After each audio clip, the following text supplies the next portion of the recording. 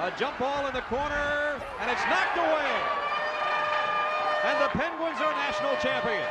The start of the 1991 National Championship season can actually be traced back six years to a 1985 news conference when, on the weekend before Christmas, an unknown assistant from Ohio State named Jim Tressel was named head football coach at Youngstown State.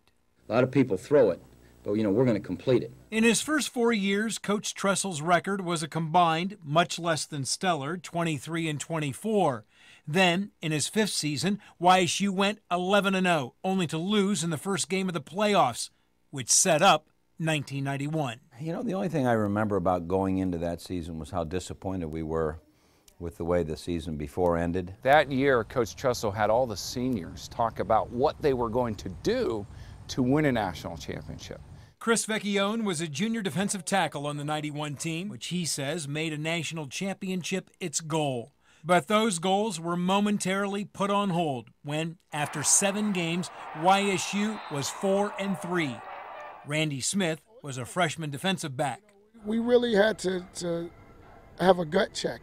It looks like very mediocre. This team was going to maybe struggle to get into the playoffs. Youngstown State's longtime play by play announcer Bob Hannon, along with the players and Coach Tressel, can all vividly remember Game 8.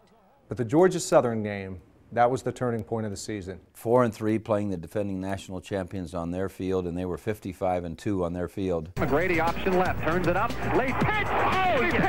It's going to be a touchdown for the Penguins going the other way. Youngstown State beats Georgia Southern, which just so happens to also be the site of the 1991 national championship game. On his way out of town, Coach Tressel, always the motivator, stops at Georgia Southern's Eagle Creek, fills a jar with water, mixes it with water from the Mahoning River, and puts it out for all to see.